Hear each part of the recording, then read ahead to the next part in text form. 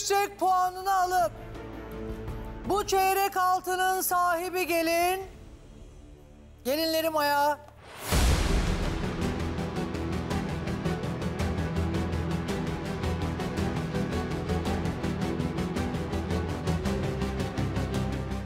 Çeyrek altının sahibini açıklıyorum.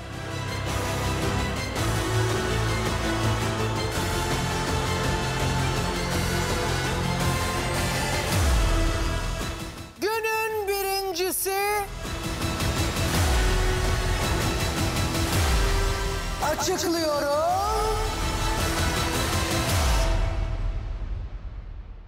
Zeynep.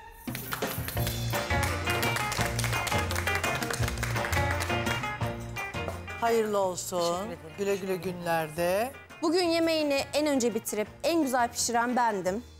Yani yine Zeynep'e gitti çeyrek. Keşke ben alsaydım. Teşekkür ederim. Tamam. Ama hak etmedim mi? Gerçekten hak ettim. Çok güzel yapmıştım yemeğimi.